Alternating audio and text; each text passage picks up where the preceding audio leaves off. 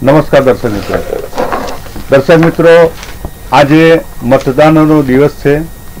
સુરત મહાનગરપાલિકાની ચૂંટણી અત્યારે ચાલુ છે. લોકો મત આપવા જઈ રહ્યા છે, મતદાન કરી રહ્યા છે. ત્યારે ગુજરાત ન્યૂઝ ચેનલ સ્ટુડિયોમાં અત્યારે આ લાઈવ કાર્યક્રમ છે અને સુરતની અંદર રાજકારણની અંદર મહાનગરપાલિકાના વહીવટતંત્ર, રાજકીય પક્ષોના આંતરિક વિખવાદો, જે પણ કંઈ પ્રશ્નો છે એના વિશે મિત્રો આજે આપણે ચર્ચા કરવાની છે કારણ કે આપણે ચર્ચા કરવી જ પડશે કારણ કે આ સ્થાનિક પ્રશ્નોની ચૂંટણી છે આ લોકસભાની ચૂંટણી નથી આપણા અહીંની ચૂંટણી છે અહીંના વહીવટ માટેની ચૂંટણી છે. તો આપણી સાથે અત્યારે ઉપસ્થિત વરિષ્ઠ પત્રકાર દર્શનભાઈ દેસાઈ છે. દર્શનભાઈ આપનું હાર્દિક સ્વાગત નમસ્કાર.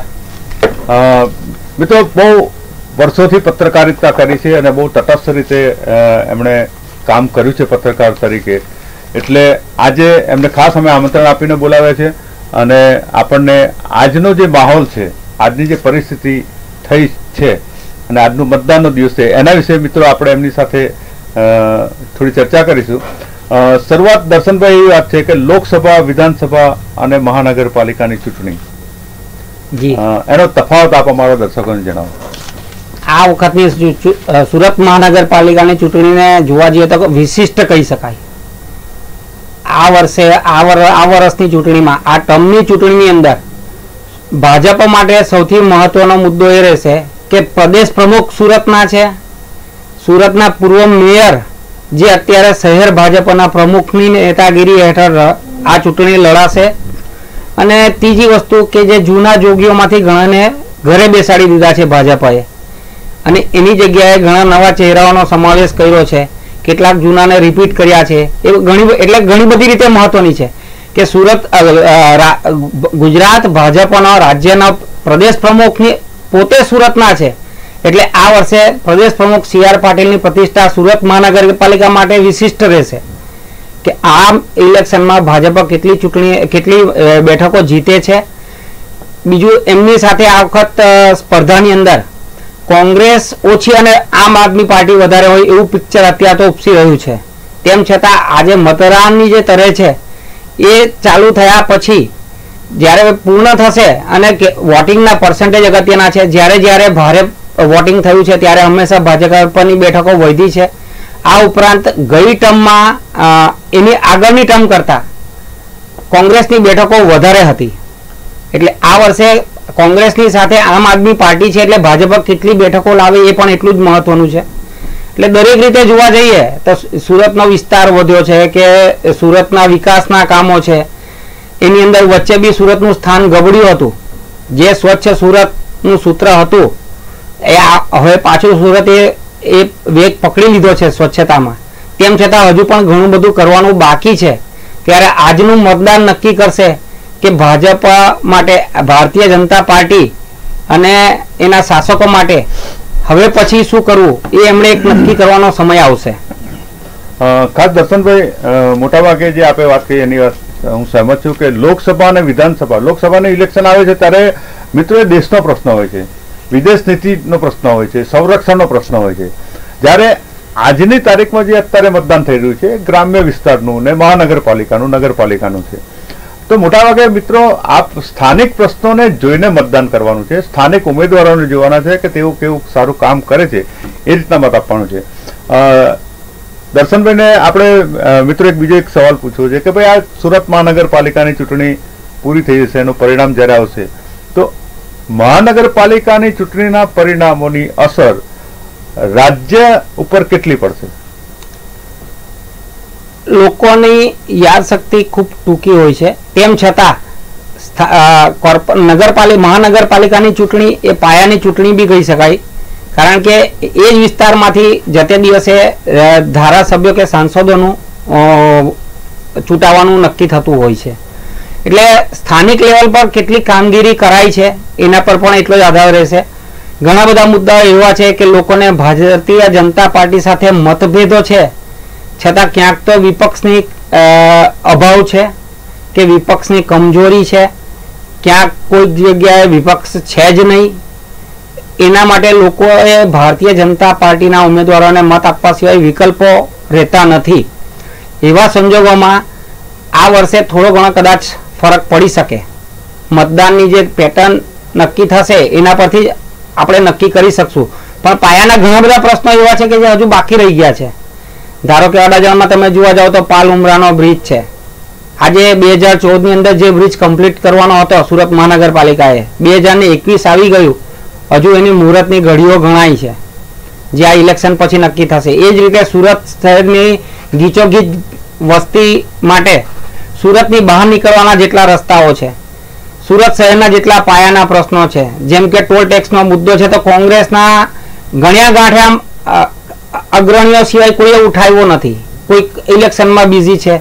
તો ભારતીય જનતા પાર્ટીના કોર્પોરેટરોએ આમાં કોઈ દિવસ કોઈ રસ બતાવ્યો નથી.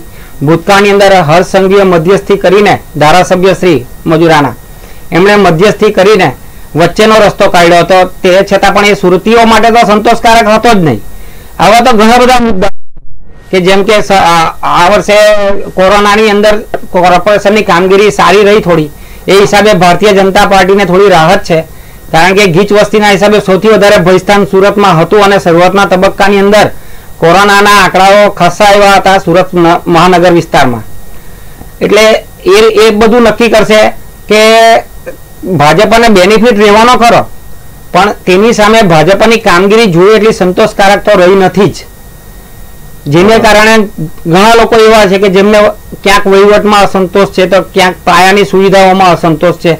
સુરતમાં વધી રહેલો વસ્તી વિસ્ફોટ પણ એટલો જ ચિંતાજનક છે. જેના માટે જે આગોતરા આયોજનો કરવામાં આવે છે, આપણે તો એવું કહેવાય છે કે આપણે ત્યાં ફોર લેનનો રસ્તો બનાવે ને ત્યાં સુધીમાં તો સિક્સ લેનનો ટ્રાફિક થઈ ગયો હોય. એટલે ફોર લેનનો રસ્તો હજુ તો પૂરો નહીં થાય એટલે સિક્સ લેનનું ટેન્ડર બહાર પાડવાની સ્થિતિ આવે. એવી રીતે સુરત શહેરની બહાર જવા માટેના જે રસ્તાઓ નક્કી કરેલા સુરત મહાનગરપાલિકાએ ભૂતકાળમાં જેવી રીતે વરિયાઓનો એક બ્રિજ નક્કી થયેલો. તે સિવાય બીજા લગભગ ત્રીસથી બત્રીસ રસ્તાઓ સુરત શહેરની બહાર નીકળવા માટે સુરત મહાનગરપાલિકામાં નક્કી કરાયેલું કે સુરતની જનતાને બહાર નીકળવા માટે આપણે એવી સુવિધા ઊભી કરવી જોઈએ કે જેથી ટ્રાફિક વેચાય. સૌથી મોટો પ્રશ્ન સુરત શહેરમાં ટ્રાફિકનો જ છે. આજે તમે મુંબઈ મહાનગરપાલિકાનું જો દ્રષ્ટાંત લો, તો આજે એક જગ્યાથી બીજી જગ્યાએ જવા માટે સૌથી વધારે સમય વેડફાય છે. ઘણી જગ્યાએ તો મુંબઈની અંદર ટ્રાફિક જામ થાય ત્યારે બબ્બે કલાક થાય છે. આજે આપણે ભાગળમાં ઘણી વાર એવું થાય છે કે અડધો અડધો પોણો પોણો કલાક આપણે ભાગળ પર ઊભા રહેવું પડે. આપણું તો ડિસ્ટન્સ ખાલી પાંચ અને દસ કિલોમીટર છે. મુંબઈમાં તો પચાસ અને સિત્તેર કિલોમીટર સુધી બી જવાનું હોય છે લોકોએ. તો આપણે એ બધાનો દાખલો લઈને પણ એમાંથી કંઈક આગળ વધવા માટે પ્રયત્ન કરવા જોઈએ. બીજું દર્શકભાઈ, આપણે સુરત શહેરનો જે વિસ્તાર વધ્યો, વસ્તી વિસ્તાર વધારવામાં આવ્યો છે, તો એના કારણે નવું સીમાંકન કરવામાં આવ્યું. તો એની મતદાન પર શું અસર થાય? નવા સીમાંકન મુજબ. સુરત શહેરમાં જે ભૂતકાળમાં સમાવિષ્ટ ગામો છે, એમાંથી ઘણા ગામો વિકાસથી વંચિત હજુ પણ રહી ગયા છે.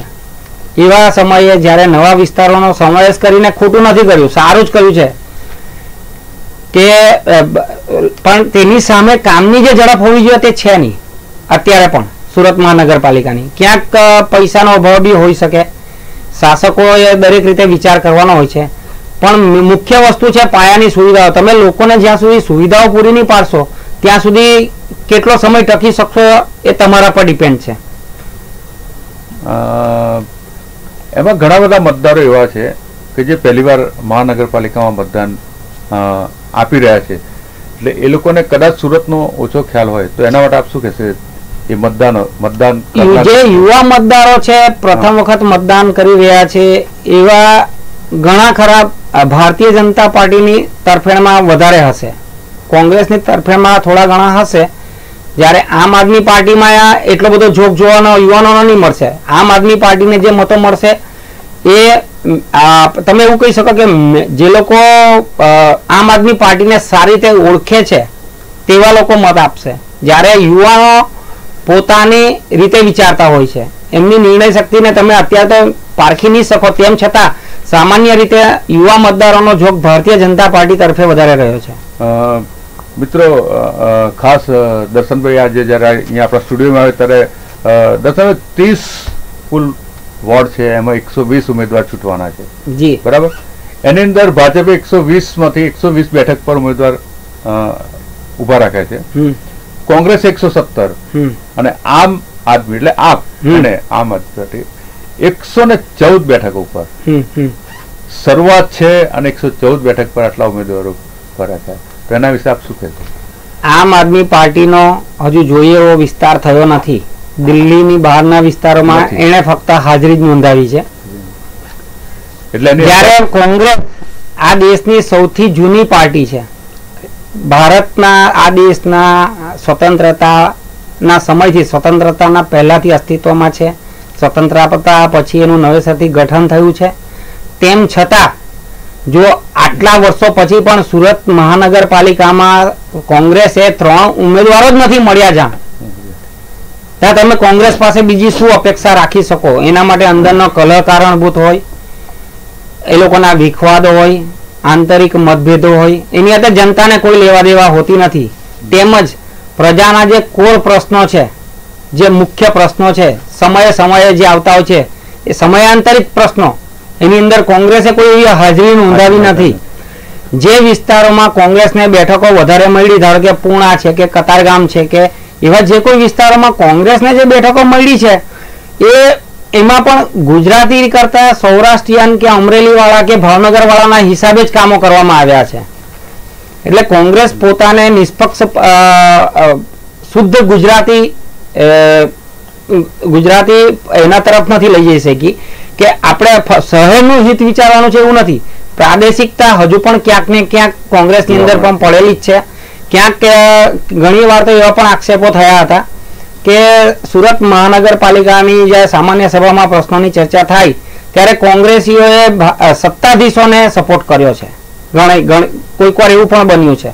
તો એવા સમયે તમે સામાન્ય જે મતદાર છે એ કોંગ્રેસ પાસેથી વધારે અપેક્ષા નથી રાખતો. એ કમસે કમ એટલું તો ઈચ્છે જ છે કે મારા પ્રશ્નો હલ થાય. પછી એ ભાજપ હોય, કોંગ્રેસ હોય કે આમ આદમી પાર્ટી હોય. આમ આદમી પાર્ટી પોતાની હાજરી નોંધાવવા માટે અત્યારે વાયદાઓ કરે છે બધા. પણ વાયદાઓ એણે દિલ્હીમાં ઘણા ખરા પૂરા પણ કર્યા છે. તેની સામે બજેટથી માંડીને નાણાકીય સ્થિતિ શહેરની પણ જોવાની હોય છે. સુરત મહાનગરપાલિકાની પોતાની પણ નાણાકીય સ્થિતિ જ્યારે કથળી રહી છે, એવા સમયે જે નવી સરકાર આવશે કે જે નવા સત્તાધીશો આવશે એમના માટે હદ વિસ્તરણથી લઈને વિકાસના કામો સુધીના તમામ પ્રશ્નો મોં ફાડીને ઊભા રહેવાના છે. તે સમયે એ લોકો કેટલી ઝડપથી એનો, એને હલ કરી શકે છે, કેવી રીતે એનું નિવારણ કરી છે, લોકોની અપેક્ષાઓ કેવી રીતે સંતોષી શકે છે, તેના પર બધો આધાર રહેશે. દર્શનભાઈ, આપે જે વાત કરી બહુ સાચી વસ્તુ છે. બે હજાર પંદરની અંદર જ્યારે ઇલેક્શન હતું અને ત્યાર પછીના જે ઇલેક્શન આવ્યા, એની અંદર મોટા ભાગે આપણા દર્શકો પણ જાણે છે. કે પાટીદાર ઇફેક્ટ બહુ મોટું કામ કરી ગઈ. એમાં કોંગ્રેસને બહુ બધી સીટો મળેલી. તો પાટીદાર ઇફેક્ટની વાત આવા દર્શકોને જણાવો કે શું રહેશે મતદાનમાં? પાટીદાર ઇફેક્ટની અસરો ખૂબ ઓછી જોવાની મળશે. એ તમને ક્યાં જોવા મળે? બહુ બહુ તો પૂણા સીમાડા કુંભારિયા કતારગામ વેડ ડભોલી એ બાજુ થોડા ઘણા અંશે કદાચ જોવા મળે. કારણ કે જે જે જે પાટીદારોનું ને પાસનું જે અસ્તિત્વ હતું અને જે માટે લડત શરૂ કરવામાં આવેલી એમાં કેટલાક નેતાઓ જ ખસી ગયા છે અત્યારે તો. એટલે ત્યાં બી પાસમાં બી અત્યારે શૂન્ય અવકાશ જેવી સ્થિતિ છે. એમાં ફક્ત સ્થાનિક લેવલનું જે છે કે ભાઈ આ અમરેલીનો ઉમેદવાર છે કે આ ભાવનગરનો ઉમેદવાર છે તેના આધારે થોડો ઘણો ફરક પડી શકે બાકી એ વધારે કઈ ફરક એનાથી પડવાનો છે નહીં. લાભો ફરક નહીં આવે નહીં આવે. ખાસ મારે બહુ અગત્યનો એક સવાલ આપને પૂછવો છે કે ગયા ટર્મની અંદર, ગત ટર્મની અંદર સુરત મહાનગરપાલિકાની ચૂંટણીની અંદર જે ચૂંટાયેલા સભ્યો, ભાજપ અને કોંગ્રેસ, કોઈ પણ હોય, બરાબર? તો ચારથી વધુ કોર્પોરેટરના એવા નામ આવ્યા કે જે લાચ લાચ પ્રકરણમાં પકડાયા હતા. તો આની ઇફેક્ટ આજે મતદારો પર આવશે? મતદારો, મેં કીધું તેમ મતદારોની યાદશક્તિ ખૂબ ટૂંકી હોય છે. અને હવે રાજનીતિમાં એક સ્વાર્થનું પ્રકરણ બી ઉમેરાઈ ચૂક્યું છે. પહેલાંની રાજનીતિ તંદુરસ્ત હતી કે ઇલેક્શન પૂરું થાય, ચૂંટણી પૂરી થાય અને પરિણામ બહાર પડે એટલે વિરોધ પક્ષ પણ સત્તાધીશોને સ્વીકારી લેતો. આટલા વર્ષ કોંગ્રેસે રાજ કર્યું તો ભારતીય જનતા પક્ષના અગ્રણી, જે તે સમયના અગ્રણીઓએ મુરબ્બીસિંહ કાશીરામભાઈ રાણા હોય કે ફકીરભાઈ ચૌહાણ હોય આ તમામ લોકો એવા હતા કે જે સુરતના મુદ્દા ઉપર કોંગ્રેસને સહકાર આપતા હતા, એ સ્થિતિ આજે નથી. એવા નેતાઓ કોંગ્રેસની અંદર આજે ગણ્યા ગાંઠા છે કે શહેરના વિકાસના કામોમાં ભાજપને સહકાર આપે, ભારતીય જનતા પાર્ટીના સત્તાધીશોને સહકાર આપે. એવા સમયે આપણે એવું કહી શકીએ કે આની અંદર તમે જે કંઈ બી કરો, તે સમજી વિચારીને કરવાનું ને જે આપણે આ બધા જે પ્રશ્નો છે સુરતના, એ હલ કરવા પર. ધારો કે નાણાકીય સ્થિતિ છે સુરત મહાનગરપાલિકાની તો એના માટે એના માટે કોંગ્રેસ હોય કે ભાજપ હોય અત્યાર કેટલી વાર ચિંતન કરવામાં આવ્યું? એક પ્રશ્ન છે. એક સમય હતો કે જ્યારે સુરત મહાનગરપાલિકાની નાણાકીય સ્થિતિ એવી હતી કે પહેલી તારીખ પહેલા કર્મચારીઓનો પગાર થતો હતો. આજે પહેલી તારીખ પૂરી થઈ ગયા પછી બી દસ દિવસ પછી કર્મચારીઓનો પગાર થાય છે. જે મને ખબર છે એ પ્રમાણે. એમાં કોઈ બદલાવ અત્યારે આવ્યો હોય તો ખબર નથી. પણ એટલે એના પછી તમે નક્કી કરી શકો કે જે સુરત મહાનગરપાલિકા કોઈ પણ કામ મંજૂર કરવાનું હોય, આટલા બધા બ્રિજો બનાવ્યા, ઓવરબ્રિજો બનાવ્યા, ફ્લાયઓવર બનાવ્યા સુરત શહેરમાં. રાજ્ય સરકાર તરફથી બી સુરત મહાનગરપાલિકા પર તમામ ખર્ચાઓ નાખી દેવામાં આવે એ માટે સ્થાનિક સ્તરે કોઈ પણ નેતાએ અવાજ નથી ઉઠાવ્યો. ધારો કે રાજ્યની અંદર મંત્રી તરીકે કુમારભાઈ કનાણી છે આજે. તો કુમારભાઈ કનાણી, આજે વરાછા, પૂણા, કતારગામ એ બધા વિસ્તારોમાં એમની લોકપ્રિયતા સારી એવી છે. એમનામાં કામ કરવાની શક્તિ છે. પ્રશ્નો સામે લડવાની શક્તિ છે એમની સામે. સમય આવે એ અવાજ પણ કરે છે. પણ ઘણી જગ્યા એવી છે કે જે એમની પણ ગેરહાજરી દેખાય છે. હર્ષ સંઘી આજે ધારાસભ્ય તરીકે મજૂરાની અંદર ખૂબ સક્ષમ છે. ઘણા પ્રશ્નો એવા છે કે જે એમણે ખૂબ ઝડપમાં સોલ્વ કરીને બતાવ્યા છે. સાંસદ શ્રી સી આર પાટીલ નવસારીના સાંસદ હોવા છતાં સુરતના પ્રશ્નો પર હંમેશા ધ્યાન આપતા આવ્યા છે. તેમ છતાં પણ હજુ સુરત શહેર માટે ઘણું કરવાનું બાકી રહી ગયું છે. જે નવી સરકાર માટે જે નવા સત્તાધીશો આવશે સુરત મહાનગરપાલિકામાં, એ લોકો માટે પડકારરૂપ રહેવાનું છે. દર્શનભાઈ, આપની વાત આપ જે કીધી એ વાત સમજ કે લોકોની યાદશક્તિ બહુ ટૂંકી હોય છે. છતાં પણ એક કમ્પાઉન્ડથી અટ- અટ- અટકતું નથી. વારે વારે કઈ ને કઈ કઈ ને એ માટે રાજનીતિની અંદર સત્તા સંગઠન સ્તરે નિર્ણય લેવાવો જોઈએ. હા. કે જ્યારે ભ્રષ્ટાચાર જેવો ગંભીર મુદ્દો હોય એવા સમયે જો પણ જેમના પર આક્ષેપો થયા હોય જેમની સામે ફરિયાદો થઈ હોય ક્યાંક કેસો પણ ચાલતા હશે ચારમાંથી કોઈકના. મને એક્ઝેક્ટ બહુ ખબર નથી અત્યારે. પણ તેમ છતાં જો એમને ટિકિટ મળતી હોય તો એ ગંભીર વિચારવાનો પ્રશ્ન છે. આના માટે ચિંતન કરવું જરૂરી છે. સ્થાનિક સ્તરે સંગઠન સ્તરે અને રાજ્ય કક્ષાએ બી સરકારે સંગઠન તરફથી એક નિર્ણય લઈ મેં એટલા માટે જ પહેલા કીધું કે આ ચૂંટણી એટલા માટે આપણા માટે મહત્વની છે કે પ્રદેશ પ્રમુખ પણ સુરતના છે. એ ભલે નવસારીના સાંસદ તરીકે હોય પણ એમનો વિસ્તાર સુરત મહાનગરપાલિકામાં પણ આવે છે. એવા સમયે જો સાંસદ શ્રી એ પ્રદેશ પ્રમુખ શ્રીએ સી આર પાટીલ શ્રીએ અને ધારાસભ્યોએ સંયુક્ત રીતે ચિંતન કરીને જો કોઈ કેસ પ્રશ્ન ઉઠાવ્યા હોત અને ભ્રષ્ટાચારના આક્ષેપો જેમના પર થયા છે એમને ટિકિટમાંથી પડતા મૂક્યા હોત તો ભારતીય જનતા પાર્ટીની છબીને ઘણો ફરક પડી શકે દર્શનભાઈ ખાસ કરીને કોરોના કાળની અંદર સુરત મહાનગરપાલિકાએ જે કામગીરી કરી છે સરાહનીય કામગીરી કરી છે ખૂબ સરસ એક્સેલન્ટ એક્સલન્ટ એક્સલન્ટ પણ છતાં એની અંદર પણ એક નવું કમ્પાઉન્ડ ઉછરીને બહાર આવ્યું. ખીચડી કમ્પાઉન્ડ પચીસ લાખથી વધારે લાખો રૂપિયાનું કમ્પાઉન્ડ બહાર આવ્યું. તો એની અસર તો એની અસર બી મતદાન પર તો આવે જ ને. આપનું શું કહેવું? આપણે ત્યાં ગુજરાતના મુખ્યમંત્રી તરીકે માનનીય વડાપ્રધાન હતા. હવે આજે એ દિલ્હી જતા રહ્યા.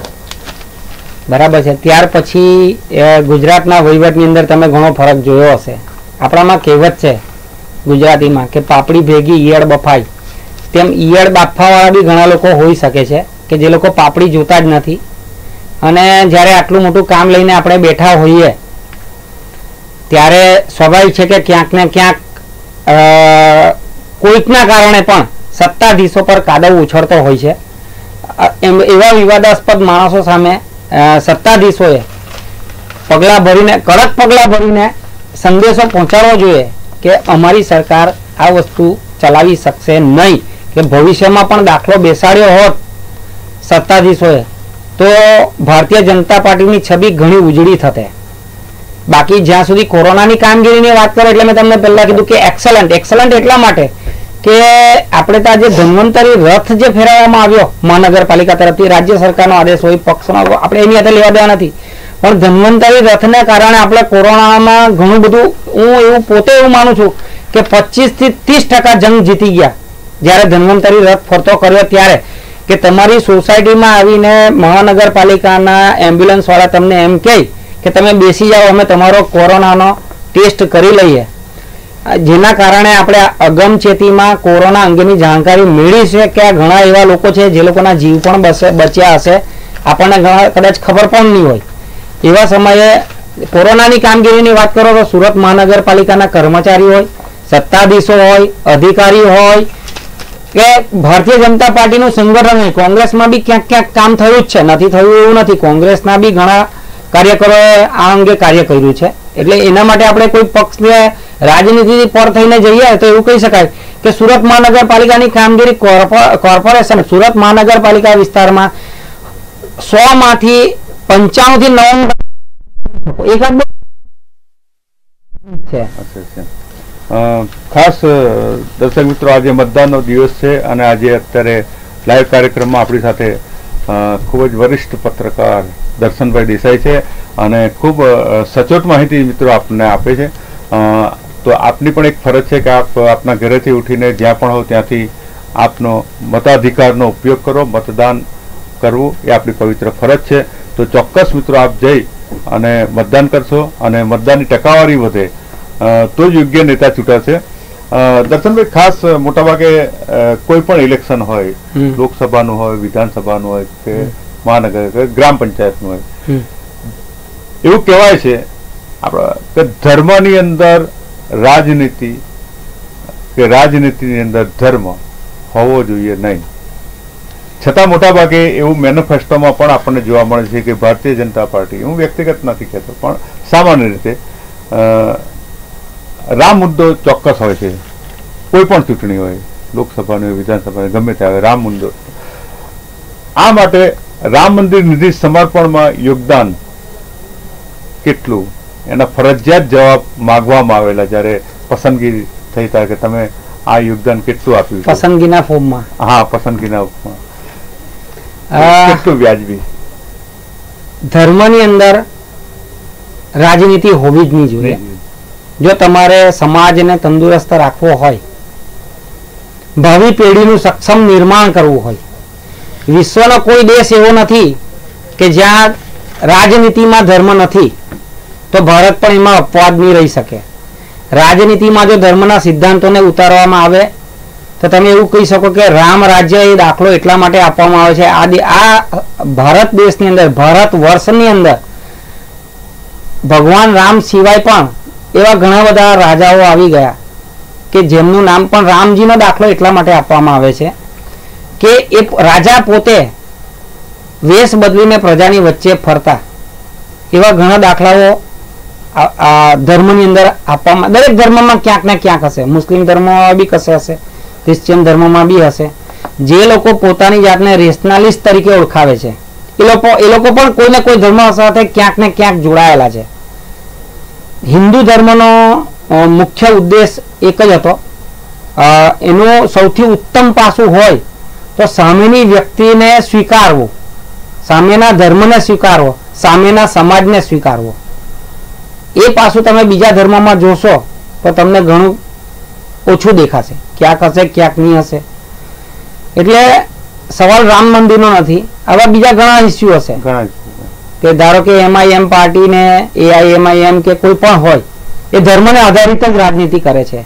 તમે જમિયતે ઉલેમા ગણો કોઈ પણ પાર્ટી ગણો તમે. ક્યાંક ને ક્યાંક તમે અરવિંદ કેજરીવાલ જે આમ આદમી પાર્ટી લઈને બેઠા છે આમ આદમીનું કહે છે એ પોતે પણ ધર્મમાં ક્યાંક ને ક્યાંક માનતા હશે. એટલે તમે રાજનીતિમાં ધર્મની ઉપેક્ષા નહીં કરી શકો. ધર્મના સિદ્ધાંતોને જો રાજનીતિમાં ઉતારવામાં આવે, તો તમે ઉત્તમ સમાજનું નિર્માણ કરી શકો, ઉત્તમ પેઢીનું નિર્માણ કરી શકો.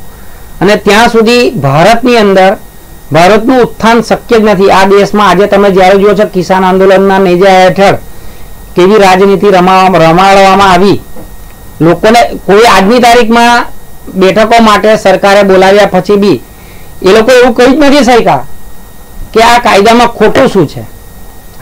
એક બે પોઈન્ટ હતા મને ખ્યાલ છે ત્યાં સુધી. બરાબર છે? તો એના માટે સરકારે કીધું જ છે કે તમને જો જે મુદ્દા પર વાંધો હોય તે લખીને આપો અને એનું સોલ્યુશન કરવાનું હતું. આજે છવ્વીસ જાન્યુઆરીએ દિલ્હીમાં જે કરવામાં આવ્યું એ દરેક વ્યક્તિને કઠ્યું છે. પછી સુરતી હોય અમદાવાદી હોય. દિલ્હીનો નગરવાસી હોય હોય. કોઈ પણ હોય દરેકને કઠ્યું જ છે. તો એની પણ થોડી ઘણી અસર કોંગ્રેસની સામે જોવા મળશે કે જે લોકો ભારતીય જનતા પાર્ટીને મત આપવા નથી ઈચ્છતા છતાં એમની પાસે એવો સક્ષમ વિકલ્પ નથી. પહેલાના જે કોંગ્રેસના અગ્રણીઓ હતા એમની વિચારસરણી આખી જુદી હતી. આજે રાજનીતિમાં તમે ગાંધીનગરમાં બી જાઓ તો ઘણીવાર તમને જોવા મળશે કોંગ્રેસ ને ભાજપના ધારાસભ્યો સાથે આ તો ઇલેક્શન પૂરતી જ લડાઈ છે. ઇલેક્શન પછી તો તમારે પ્રજાના કામમાં લાગી જવાનું છે.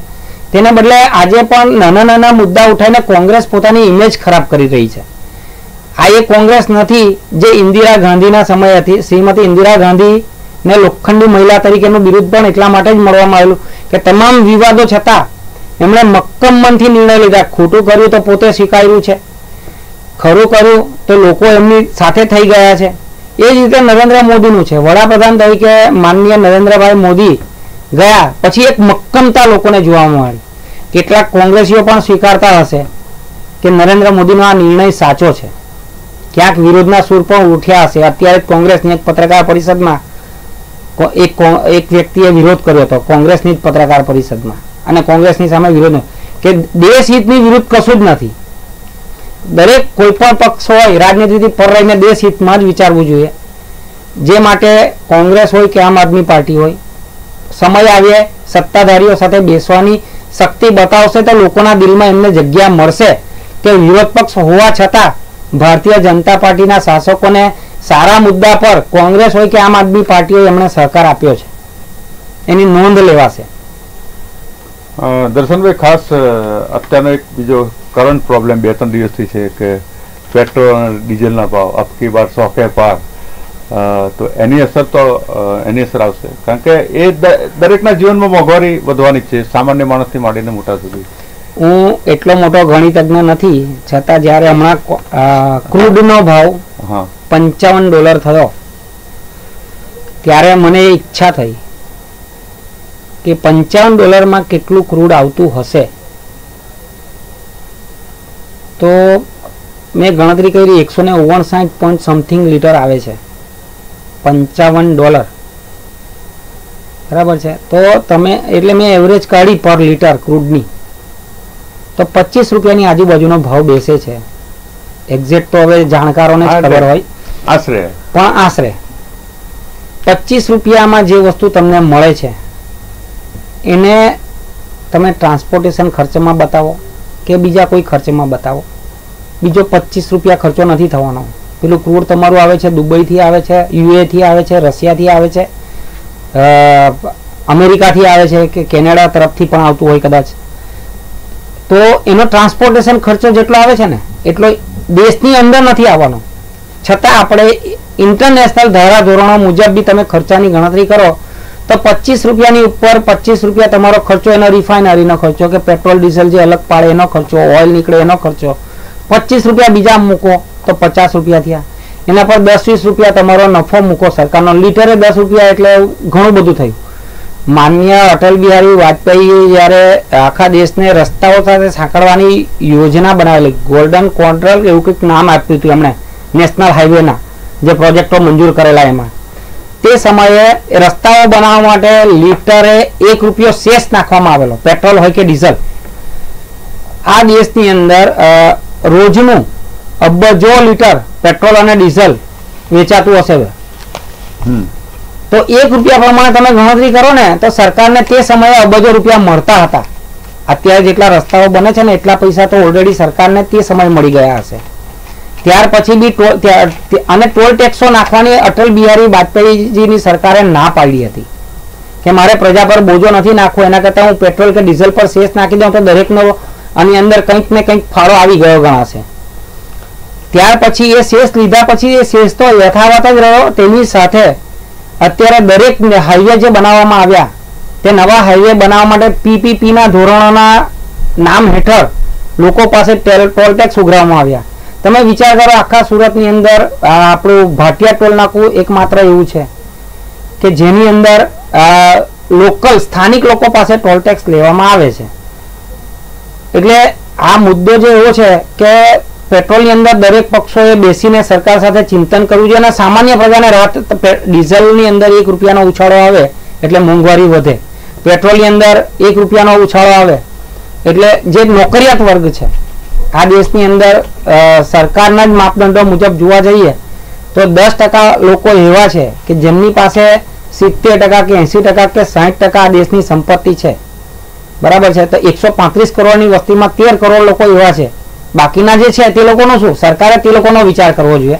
અને પેટ્રોલ, ડીઝલની જે પ્રાઇસ છે, તેને કંટ્રોલ કરવા માટે સરકારે કોઈક ને કોઈક પગલાં જરૂર લેવા જ જોઈએ. અને આ ઉપરાંત સરકારે અત્યારે એક નવું ખૂબ સરસ કામ કર્યું છે કે વડાપ્રધાન તરફથી જે સોલાર રૂફટોપ બહુ સારો જનતાનો પ્રતિસાદ પણ એટલો જ મળી રહ્યો છે. એ જ રીતે અત્યારે એક સમસ્યા, અત્યારે ચાલુ થયું છે ઈ વાહનો તો ઈ વાહનો શહેરી લિમિટની અંદર ફરજિયાત કરવા જોઈએ. અને પેટ્રોલ અને ડીઝલના જેવા ધારો કે તમે ટ્રાન્સપોર્ટ છે, તો ટ્રાન્સપોર્ટની અંદર તમારે ડીઝલના વાહનોનો વપરાશ વધવાનો જ છે. એ ઘટવાનો નથી. વસ્તી વધે, તેની સાથે ટ્રાન્સપોર્ટેશન વધવાનું. તો એની જગ્યાએ તમારે પેટ્રોલના જે વાહનો છે, તેને ઈ વાહનો તરફ વાળવા જોઈએ. અથવા તો એને મોડિફાઈડ કરવા જોઈએ. અથવા તો એને હાઇબ્રિડ પેટ્રોલ અને ઇલેક્ટ્રિસિટી પર ચાલે. એ રીતના વાહનો તૈયાર કરવા જોઈએ. એક એક તો મારુતિએ પ્રયાસ કરી ચૂકી છે ને સફળ થયેલી મારુતિ સુઝુકી કંપની. એની એક ગાડીમાં હાઇબ્રિડ વર્ઝન હતું. તો એનાથી લોકો, પર્યાવરણની સાથે સાથે ઇકોનોમીને બી ફાયદો થશે. આજે જ્યારે સાહીઠ ટકા કે સિત્તેર ટકા વસ્તી જ્યારે શહેરો તરફ વળી છે, તો તમારી, આપણી સુરત શહેરની લિમિટ છે, તે પહેલા એક નાકેથી બીજા નાકે તમારે જવું હોય. તો લગભગ હું માનું છું કે ત્રીસથી ચાલીસ કિલોમીટરનો છેડો લાગતો હતો. અત્યારે કદાચ આ નવી નવા હદ વિસ્તરણ પછી પચાસ કે સાઠ કિલોમીટર કે સિત્તેર કિલોમીટર થયો હશે. તો દરેક ઈ વાહન એવું તો છે જ કે મિનિમમ તમને સિત્તેર કિલોમીટરની એવરેજ આપે એક ચાર સિંગલ ચાર્જિંગ પર. અને એ મફતના ભાવમાં મળે છે. તમારા ઘરમાં સોલાર પેનલ લાગેલી હોય, તો તમે ઈ વાહનો વાપરો, તમારે કોઈ બહાર, કોઈ એનો ચાર્જ ભરવાનો જ નથી. હવે એક વ્યક્તિ મહિનાનો જો પચાસ લીટર કે સો લીટર પેટ્રોલ વાપરતું હોય કે ડીઝલ વાપરતું હોય બરાબર છે. એવા આ શહેરમાં તમે ગાડીઓની સંખ્યા ગણો એક લાખ એકવીસ લાખથી વધારે વાહનો છે આ શહેર સુરત શહેરમાં. છાસઠ લાખની વસ્તીમાં એકવીસ લાખથી વધારે વાહનો છે. આરટીઓની અંદરથી આપણને પરફેક્ટ આંકડા વિગતો મળી શકશે. પણ જે મને પ્રાઇમરી માહિતી છે તે હવે એકવીસ લાખ વાહનો રોજનું એક લીટર બી પેટ્રોલ વાપરે કે એક લીટર બી પેટ્રોલ બચાવે તો હુડિયામણ પર્યાવરણ અને લોકોનું સ્વાસ્થ્ય ત્રણ વસ્તુ સચવાઈ જાય. એટલે એના માટે પણ લોકોએ પ્રયત્ન કરવા જોઈએ. લોકોએ બી સરકારને એટલો જ સહકાર ધારો કે કોરોનાની અંદર ઘણી જગ્યાએ એવું જોવા મળ્યું કે લોકોએ વિરોધ કર્યો, કે લોકોએ સહકાર નહીં આપ્યો, કે લોકો ટોળામાં એકત્ર થયા, એના કારણે કોઈક જગ્યાએ કોરોના વધ્યો છે. તો આવા બધા મુદ્દા પર જે રીતે સરકારની ફરજ છે એ રીતે લોકોએ બી પોતાનો સહકાર આપવાનો છે. ખાસ દર્શનભાઈ, અમારા દર્શકોને જણાવો કે અત્યારે કોરોનાની મહામારી તો છે જ. એની અસર થોડી ઓછી છે. પણ કઈ રીતે મતદાન કરવા જવું સોશિયલ ડિસ્ટન્સિંગ રાખવાનું માસ્ક પહેરીને એ આપ જરા ભારતની વસ્તી પ્રમાણે આપણે જોવા જઈએ તો કોરોનાની અંદર ગુજરાતની અંદર સુરત શહેર ગીચતાની દ્રષ્ટિએ સારી એવી વસ્તી છે. લગભગ બે હજાર અગિયારના સેન્સસ પ્રમાણે પર સ્ક્વેર કિલોમીટર અગિયાર હજાર કે બાર હજાર એવી કંઈક પોપ્યુલેશન હતું. અત્યારે તો બે હજાર એકવીસ ચાલે છે લગભગ દસ વર્ષ થઈ ગયા એ વાતને બી. એવા સંજોગોની અંદર આપણે ત્યાં લોકોએ સાવચેતીઓ નથી રાખી છતાં કોરોના કાબૂમાં આવ્યો છે અને એ બહુ મોટી વાત છે આપણા માટે. સુરત મહાનગરપાલિકાને ધન્યવાદ એટલા માટે જ મેં આપ્યા. એક્સલન્ટ કહ્યું એનું કારણ આ જ હતું કે તમે લગભગ હું માનું છું કે પાસઠ લાખની આજુબાજુ આ શહેરની વસ્તી હશે અને તેની ઓછા સ્ક્વેર કિલોમીટરમાં અમદાવાદમાં આના કરતાં ચાર ગણો વિસ્તાર છે. એવા સંજોગોની અંદર આટલી ભીડને કાબૂમાં રાખીને જે રીતે કામગીરી કરી છે સુરત મહાનગરપાલિકાએ, એને સલામ કરવી પડે આપણે. બીજી વસ્તુ કે લોકોએ જે સહકાર આપવાનો હતો, હું કહી ગયો એ પ્રમાણે, એ નથી આપ્યો લોકોએ, હજુ પણ નથી આપ્યો. જ્યારે કોરોના કાળમાં આ બીજો તબક્કો શરૂ થવાના ભણકારા છે, એવા સમયે પણ લોકો જોઈએ એવો સહકાર આપતા નથી. અને માર્કેટોના જે લોકો છે, એ રસ્તા ઉપર ઉતરી આવ્યા. એના માટે સુરત મહાનગર મહાનગરપાલિકાની નવી સરકાર આવીને કોઈ પગલાં લે એવી અપેક્ષા રાખું. એક સામાન્ય માનવી તરીકે. અને બીજી વસ્તુ, સવાલ આપણો આવ્યો આનો મતદાનનો. તો મતદાનની અંદર આપણે લોકો પોતે સ્વયંભૂ શિસ્ત રાખે અને સેલ્ફ અંતર રાખે. એક પત્રકાર તરીકે કોરોના દરમિયાન મેં પોતે સ્ટોરીઓ કરી છે અને ઝૂંપડપટ્ટીઓમાં જઈને કરી છે. એવા સમયે મને પોતાને બી થોડોક ભય હતો કે મને કોરોનાને થવાની શક્યતા રહી, પણ સાવચેતીના કારણે અત્યાર સુધી હું પોતે કોરોનાથી દૂર રહ્યો છું. મારું આખું ઘર કોરોનાથી દૂર રહ્યું છે.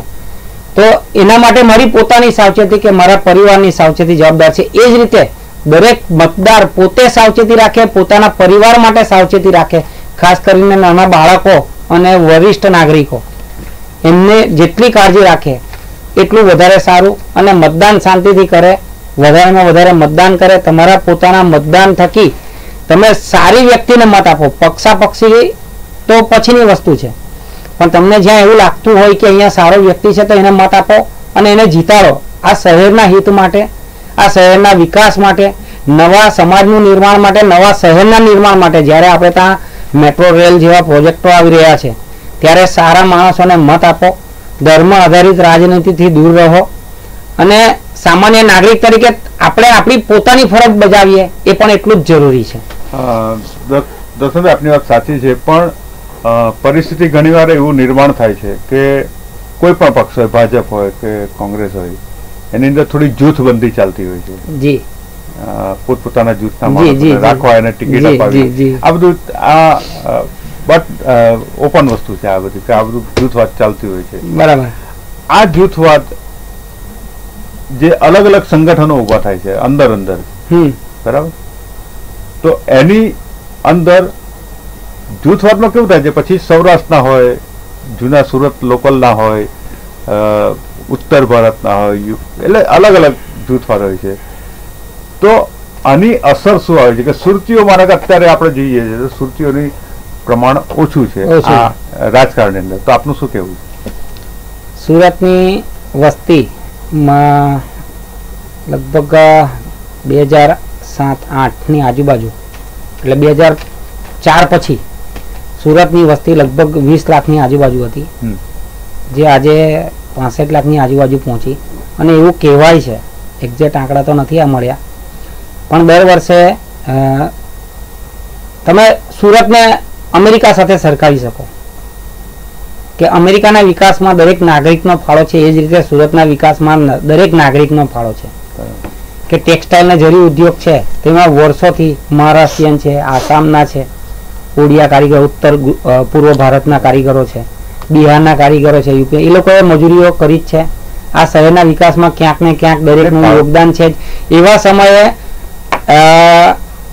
પ્રાંત કરતા શહેર રીતને વિચારવું જરૂરી છે. બીજી વસ્તુ કે સાંસદ શ્રી સી આર પાટીલને પ્રદેશ પ્રમુખ તરીકે બેસાડીને ભારતીય જનતા પાર્ટીના સંગઠને એવો સંદેશ ઓલરેડી આપી જ દીધો છે, જે પોતે સુરતમાં છે એટલે ખાસ ઉલ્લેખ કરું છું કે વ્યક્તિ ક્યાંનો છે એ પક્ષ માટે અગત્યનો નથી, એ પક્ષમાં યોગદાન કેટલું આપે છે તે પણ એટલું જ અગત્યનું છે. આપની વાત સાચી છે પણ આની અંદર એવું વિચારવામાં આવે છે અને આગળ પણ વિચારાશે કે ભાઈ સ્થાનિક- પાટીલ સાહેબ છે એ હોમટાઉન કહેવાય એમનું આ. બરાબર? તો એનો આપણને કેટલો ફાયદો થશે? આ ભારતીય જનતા પાર્ટીના પૂર્વ અખિલ ભારતીય સંગઠન પ્રમુખ અને અત્યારના ગૃહપ્રધાન અમિત શાહજીએ જ્યારે સંગઠન માટે પેજ કમિટીથી માંડીને જે પાયાના વર્કરો તૈયાર કરવાની જે નીતિ બનાવેલી હોય, એની અંદર સુરતીઓએ પોતાની રાજનીતિ છોડી નહીં. જ્યારે પરપ્રાંતીય તરીકે તમે જેને ગણતરી કરી શકો, એવા મહારાષ્ટ્રીયન છે, ઉત્તર ભારતીય છે, બિહારી છે, ઉત્તર પૂર્વના છે આ એ બધાએ એવી ગણતરી નથી કરી. એ લોકોએ પોતાના વિસ્તારમાં જે સક્ષમ વ્યક્તિ હોય જે એમના માટે કામ કરતો હોય, એને મતો આપવા પર વધારે ધ્યાન કેન્દ્રિત કર્યું. તમે આ બાજુ જાઓ, વરાછા, પુણા, સીમાડા. આજે તમે એવું કહી શકો કે સુરતની વન થર્ડ બેઠકો, એકસો વીસ બેઠક છે, તો હું એવું માનું છું કે ચાલીસથી ઉપર બેઠકો પર ક્યાંક ને ક્યાંક સૌરાષ્ટ્રના ઉમેદવારો હશે. ચાલીસથી વધારે બેઠકો પર. મોર દેન થર્ટી પર્સન્ટ, ત્રીસ ટકાથી વધારે બેઠકો સૌરાષ્ટ્રીયન ઉમેદવારોની હશે. તો રાંદેરમાં બી આવીને એ લોકોએ કાર્ય કર્યું છે. પુણા સીમાડામાં બી જઈને જે મૂળ સુરતીઓના એરિયા હતા. જ્યારે સુરતના જે રાજનેતાઓ છે એ સુરત શહેર પૂરતા મર્યાદિત રહી ગયા. એ લોકોએ પોતાના વિસ્તારો સિવાય જે બીજે બધે ફોકસિંગ કરવાનું હતું ધ્યાન આપવાનું હતું પાર્ટી માટે જે કંઈ કરવાનું હતું સુરત શહેરના હિત માટે શ્રી કાશીરામભાઈ રાણા હતા. તો તમે એવો વિચાર કરી શકો કે સેન્ટ્રલની અંદર એમને કેન્દ્રીય મંત્રી તરીકે સારામાં સારું ખાતું ફાળવવામાં આવેલું સુરતના પૂર્વ મેયર હતા. તે સમયે, ચૂંટાયા ત્યારે. બરાબર છે? તો એ રીતે કોઈ પણ વ્યક્તિ એમાં સુરતી હોય, સૌરાષ્ટ્રવાસી હોય, મહારાષ્ટ્રીય અને ઉત્તર ભારતીય હોય, એના કઈ લેવા દેવા છે જ નહીં. ઘણા બધા એવા છે કે આપણે હર્ષ સંઘવી છે મજૂરાના ધારાસભ્ય. એ પોતે મુદ્દા આધારિત હોય જ છે દરેકની સાથે. કે જ્યાં એમ મુદ્દો સક્ષમ લાગ્યો ત્યાં એમની સાથે. કુમારભાઈ કનાણી, લગભગ તમે જાઓ તો એમની ઓફિસે કોઈ પણ માણસ કામ લઈને ગયો હશે. તો લાંબો વિચાર કરે. એમને લાગે કે આ જેન્યુઇન છે કરવા જેવું કામ છે તો એ કરે જ છે. એ રીતે ઘણા બધા એવા ધારાસભ્યો છે સાંસદો છે. જ્યારે આપણા સુરતના જે ઉમેદવારો છે એ લોકોની થોડી ઉદાસીનતા જોવા મળી છે ક્યાંક ને ક્યાંક. કે લોકોએ પોતાના પ્રશ્ન રજૂ કરવા હોય અને તે સમયે હોતા જ નથી. એટલે લોકોએ એવું નહીં જોયું. લોકોએ તો હંમેશા જે મતદાર છે સામાન્ય મતદાર એને એમાં જ રસ છે કે મારો પ્રશ્ન ક્યાં હલ થાય. એટલે એના માટે એ લોકો સુરતીઓ જે હાંસિયામાં ધકેલા એનું મુખ્ય કારણ આ જ છે. શહેર સંગઠનથી માંડીને દરેક જગ્યાએ આ શ્રી નિરંજનભાઈ ઝાંઝમેરા જ્યારે મેયર તરીકે હતા ત્યારે એમની કામગીરી જોઈ છે. તમે એવું કહી શકો કે બિન વિવાદાસ્પદ વ્યક્તિ. અને આજે એ જ બિન વિવાદાસ્પદ વ્યક્તિ જ્યારે શહેર પ્રમુખ તરીકે બેઠા છે. તો હું એવું માનું છું કે સંગઠનમાં બી એ જે કઈ થોડો ઘણો અસંતોષ હશે ક્યાંક ને ક્યાંક સરખો કરશે. ના એટલે આપની વાત સાચી છે. આ તો સામાન્ય લોકોના આવું મનમાં વિચાર આવે છે કે ભાઈ આ સૌરાષ્ટ્રના છે આ યુપીના છે આ અહીંના છે એ રીતના લોકો વિચારતા હોય છે. પણ તમે આજે જે ક્લિયર કરી વાત ખરેખર ખૂબ સારી વસ્તુ છે. આની અસર પાસ જે છે ગુટબાજી જે છે એ લોકો વચ્ચે તાલમેલ નહીં થયો. બરાબર? જી. એ લોકોની સાથે જયારે મળીને કામ કર્યું કોંગ્રેસે તો બહુ સીટ આવેલી ગયા વખતે. જી. આ વખતે આપણે આગળ પણ કહ્યું એવું બહુ જોવા નથી મળતું. હા પણ એની સામે એની અસર તો ખરી ને સંગઠન એની સામે આમ આદમી પાર્ટીએ જે હાજરી નોંધાવી છે એ ક્યાંક ને ક્યાંક એ પાસના જે જૂના માણસો છે બરાબર. એ કોઈક ને કોઈક જગ્યાએ આમ આદમી પાર્ટી સાથે સંકળાયેલા છે. ક્યાંક કોંગ્રેસ સાથે સંકળાયા જે લોકોને કોંગ્રેસ સાથે અસંતોષ હતો એ આમ આદમી પાર્ટી સાથે બેઠા. જેમણે ભાજપનો વિરોધ કરવો હતો એમને આમ આદમી પાર્ટીનું એક ગઠબંધન મળી ગયું. અને એમની સાથે થઈ ગયા. જીતશે કે હારશે તો પણ એટલું ખરું એક શક્યતા એવી ખરી કે કોંગ્રેસની સીટો ઘટવી ઘટશે. ખાસ કરીને પૂણાનો વિસ્તાર છે કતારગામનો કોઈ અમુક વિસ્તાર છે કે કતારગામમાં બી પૂર્વ કોર્પોરેટર અને ધારાસભ્ય વિનુભાઈ મોરડિયાને મેં જોયા છે કે એમના એરિયામાં એ પાયાના કાર્યકર તરીકે ઓળખ છે. હવે ઘણા બધા છે એમ. ઘણા એવા છે કે જેમને હું કદાચ મળ્યો નહીં હોય ને ઉલ્લેખ કરવાનો રહી જતો હોય. કે એમની સાથે હમણાં સંપર્ક નહીં હોય એટલે ઉલ્લેખ કરવાનો રહી ગયો હોય. જે જનકભાઈ બગદાણા, તો અત્યારે એ બી સંગઠનમાં છે. એમણે ધારાસભ્ય તરીકે બી કામ કર્યું છે, કાર્યકર તરીકે કામ કર્યું છે, કોર્પોરેટર તરીકે કામ કર્યું છે. અને બાકી રીતે હવે સંગઠનમાં આવ્યા છે. એવા સમયે આ દરેક વ્યક્તિઓ એવું છે કે ક્યાંક ને ક્યાંક પોતાની કામગીરી બતાવીને આગળ વધ્યા કર્યું છે. જ્યારે સુરત શહેરમાં જે સ્થાનિક નેતાગીરી છે ને ત્યાં ખોટ પડી રહી છે, ઘટી રહ્યા છે. જે જૂના જોગીઓ જશે, પછી એમની ખોટ પૂરવા માટે સ્થાનિક લેવલ પર કોઈ એવો સક્ષમ વ્યક્તિઓ રહ્યા જ નથી. નથી, કાર્યકર નથી. આપણે પૂછવાનું કારણ હતું કે એનો મેસેજ જે જાય છે સમાજમાં, એના એના માટે આપની સાથે આ વાત ક્લિયર કરી કે એવા કોઈ છે નહીં. અને ખાસ દર્શનભાઈ, આપને એક મારે એ વસ્તુ પૂછવી છે કે સમરસતા જે થાય છે, બિનહરીફ ચૂંટાય છે બહુ સારી વસ્તુ છે. જો મળી સંપીને ખર્ચો બચાવવો છે કે કંઈક સારો વિકાસ કરવો છે ભેગા સાથે મળીને. બરાબર? એક વ્યક્તિ ફોર્મ ખેંચી લે છે અથવા તો ઉમેદવારી નથી નોંધાવતા. કે ભાઈ ચાલો આપણે તમે સત્તા લઈ લો. બિનહરીફ ચૂંટાય છે. એ લોકશાહી માટે થોડુંક જો ખોટી રીતના થયું તો જોખમકારક કહેવાય. ખોટી રીતે જો સમરસતા થઈ હોય. તો એના હિસાબ શું કહેશો? સક્ષમ ઉમેદવાર હોય અને બિનહરીફ આપતો હોય ને તો એમને વધારવા જોઈએ. વધારવા જોઈએ. પણ રાજનીતિ વસ્તુ આખી જુદી છે.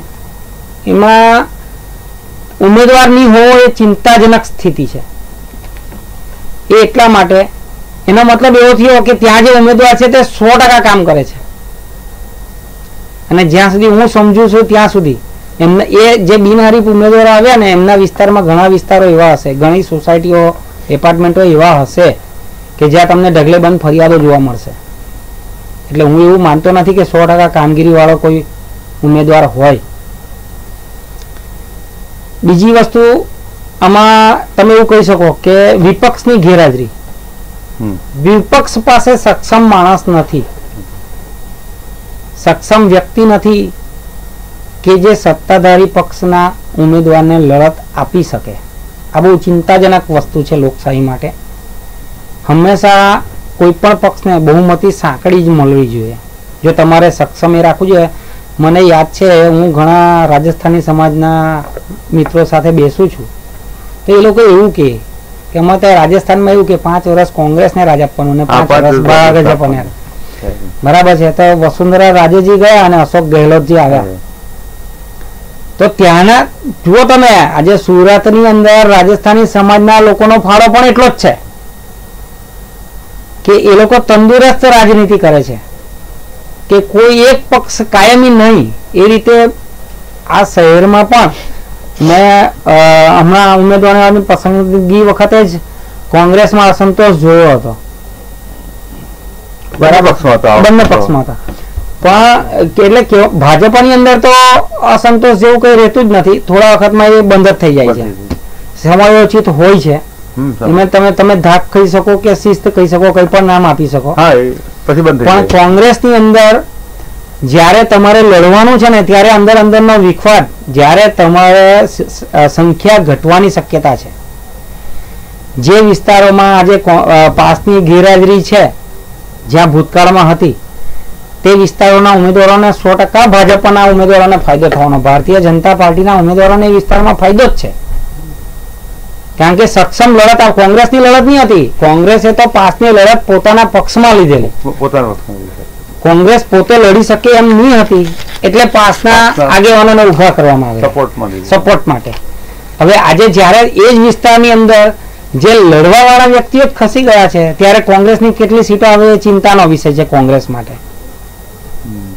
થોડીક આંતરિક જૂથબંધી આંતરિક બહુ મોટા પાયે છે કોંગ્રેસ અને ખાસ તમે જો ભાજપનું એક પણ ફોર્મ રિજેક્ટ નથી થઈ બીજા બધા ઘણા ખરા રિજેક્ટ થયા છે. કારણ કે ભાજપને એક માઇક્રો લેવલ હતું કે ભાઈ એક ઉમેદવાર પર બે કે ત્રણ કે ચાર વકીલ આપતા હતા ફોર્મ ચેક તમે એવું કહી શકો કે કોંગ્રેસના સ્થાનિક નેતાઓ સ્થાનિક કાર્યકરો પ્રજાના પ્રશ્નો મુદ્દે ભારતીય જનતા પાર્ટીને લડત આપવામાં નિષ્ફળ ગયા છે.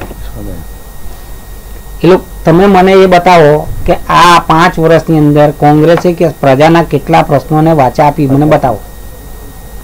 કારણ કે સ્થાનિક જે સુરતીઓ છે એ વિસ્તારમાં તો કોંગ્રેસની હાજરી પાંખી છે. તમે એવો વિચાર કેમ નથી કરતા કે સ્થાનિક સુરતીઓ ભાજપને જ કેમ મત આપે છે? કે મહારાષ્ટ્રીયન, ઉત્તર ભારતીય કે ઉત્તર પૂર્વના મતદારો ભાજપની તરફ કેમ વધારે ઝૂકેલા છે? ઘણા એવા રાજ્યો છે તમે કોંગ્રેસના જુઓ પંજાબના અંદર કોંગ્રેસની સરકાર છે એ જ પંજાબી સમાજના લોકો સુરતની અંદર તેનું કંઈક તો કારણ હશે ને. કોંગ્રેસે આ બધા વિષયો પર ચિંતન નથી કર્યું. કોંગ્રેસની હાલત અત્યારે એવી છે કે નેતા વધારે છે અને કાર્યકર છે જ નહીં. ઘણી જગ્યાએ અસંતોષ ત્રણ સીટ સુરત શહેરની અંદર ઉમેદવાર જ નહીં મળે. એ કોંગ્રેસ માટે બહુ મોટો ચિંતાનો વિષય છે.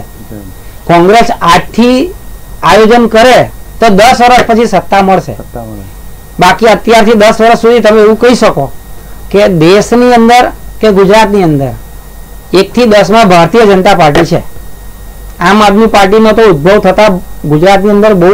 વર્ષો લાગશે. એની એ શક્યતા જ નથી. આમ આદમીની પાર્ટી આમ આદમી પાર્ટીનું જે પોલિટિક્સ છે તે સ્થાનિક સ્તરે કામ લાગે એવું નથી. આપણે ત્યાં ગુજરાતની અંદર એવું છે કે સૌરાષ્ટ્રનું રાજકારણ જુદું છે મધ્ય ગુજરાતનું જુદું છે ઉત્તર ગુજરાતનું જુદું છે અને દક્ષિણ ગુજરાતનું જુદું છે. ચાર પાર્ટ છે આપણે ત્યાં. એ ચાર પાર્ટની અંદર જ્યારે આખા દેશના લોકો મેં એટલે જ પહેલા કીધું કે સુરતને તમે યુએસ કહી શકો મીન. કે જે રીતે આખા વિશ્વના ક્રીમ લેયર જે કહેવાય જે બૌદ્ધિક તત્વવાળા લોકો છે એ એ લોકો જેને અમેરિકામાં વસ્યા છે. એ જ રીતે સુરતની અંદર જે લોકો આવ્યા છે કોઈ પૈસા કમાવાની લાલચે આવ્યું કોઈ સારી હોદ્દાની લાલચે આવ્યું એક સો ઝેડ સારી નોકરીની લાલચે આવ્યું. કર્મભૂમિ હા કર્મભૂમિ. સુરતને બનાવીએ બધાએ. અને કોઈ કોઈ પાછું નથી ગયું એમાંથી. તમે જોઈ લો. આજે પણ તમે જોશો. દરેક જગ્યાએ જાઓ. તો તમને સુરતની આખી સંસ્કૃતિ જુદી જોવા મળે એવું કહી શકો દક્ષિણ ગુજરાતની. સાચી મિત્રો ખરેખર દર્શનભાઈ જે વાત કરી એ વિચારવા લાયક છે કોંગ્રેસે પણ વિચારવા લાયક છે અને ભાજપે પણ થોડુંક વિચારણા કરવી જોઈએ કે ભાઈ હવે પછી આપણે કેવું આયોજન કરવું જેથી પ્રજા કલ્યાણનું કામ થાય ને એ કરશે એ લોકો. ભાજપ કરતા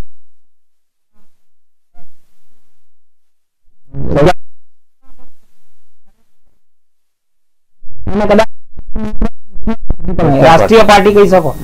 તેની દયનીય સ્થિતિ આજે એ એ પૂરી થવાના કગાર પર છે. પક્ષની લોકોના માટે બી ચિંતાનો વિષય છે ને પક્ષના માટે બી ચિંતાનો વિષય છે. કારણ કે જો ભારતીય જનતા પાર્ટીને લડત નહીં મળે અને એક એક હથ્થું શાસન થઈ જશે ત્યારે ઘણી ભારતીય જનતા પાર્ટીમાં જે અસંતોષ છે તે એક હથ્થું શાસનનો છે. ઘણા ઉમેદવારો છે જેમને રિપીટ કરવામાં નહીં આવ્યા તેમના પરિવારના વ્યક્તિને ટિકિટ આપવામાં આવી. એટલે સીટ તો છોડી જ નથી એ લોકોએ. મિત્રો આજે સુરત મહાનગરપાલિકાની ચૂંટણીના દિવસે ત્રીસ વોર્ડ, એકસો ને વીસ બેઠકો, ચારસો ને ચોર્યાસી ઉમેદવારોની પસંદગીનો સમય છે. મિત્રો, આપ કોઈ પણ જગ્યાએ શહેરની અંદર હોવ ઘરે હોવ, દુકાને હોવ, ઓફિસે હોવ, તો મિત્રો, આપ, આપનો કિંમતી અને પવિત્ર મત આપવા જશો એવી અમારી અહીંયાથી અપીલ છે. ઇન ચેનલમાંથી આપનો મતાધિકાર છે એનો ઉપયોગ કરો. સાચો ઉપયોગ કરો, તમને યોગ્ય લાગે ઉમેદવારને મત આપો. અને મિત્રો, એકથી ચાર નંબર સુધી તમારો વોટ આપવાના છે. તમે એક આપો, બે આપો, ત્રણ આપો, ચાર આપી શકો છો. અને મતદાન કર્યા પછી નીચે પીળું બટન છે. એને ખાસ દબાવીને એ મતદાન તમારું રજીસ્ટ્રેશન કરાવવું પડશે. અને અને પછી એનો જે અવાજ આવશે, ત્યારે તમારું મત રજિસ્ટર થશે. તો મિત્રો, ખાસ ધ્યાન આપશો. અને અ, દર્શનભાઈ આપણને ખૂબ એમનો કિંમતી સમય આપ્યો છે. ખૂબ સરસ સરસ વાતો કરી છે. કે જે ઘણી બાબતો પર આપણે વિચારણા કરી નહોતી. એવી વાતો પણ આપણે આપણી સાથે શેર કરી છે કે ભાઈ શા માટે આ પક્ષો આ રીતના કામ કરે છે અને શું કરવું જોઈએ? તો ખૂબ ખૂબ હું ઇન ચેનલ વતી એમનો આભાર માનું છું. અને ફરી પાછા આપણે એક નાનકડા વિરામ પછી થોડી વાર પછી પાછા મળીએ છીએ. ત્યાં સુધી રજા આપશો પક્ષાપક્ષીથી પર રહીને લોકો સક્ષમ વ્યક્તિને મત આપે. એટલું જ જરૂર છે આ શહેરના હિત માટે. એ દર્શનભાઈનો આ સંદેશો મિત્રો ખાસ દર્શનભાઈ પાછો રિપીટ કરો. દરેક વ્યક્તિ પક્ષાપક્ષીથી પક્ષ- પર રહીને નિષ્પક્ષ રહીને તટસ્થતાથી તમારા માટે કામ કરે એવા વ્યક્તિને મત આપો. શહેરના હિત માટે કામ કરે એવા વ્યક્તિને મત આપો. અને તમારા સારા શહેરના નિર્માણ માટે તમારું પોતાનું યોગદાન ખૂબ સરસ વાત કરી. મિત્રો રજા આપશો ફરી પાછા આપણે મળીએ છીએ. Thank you very much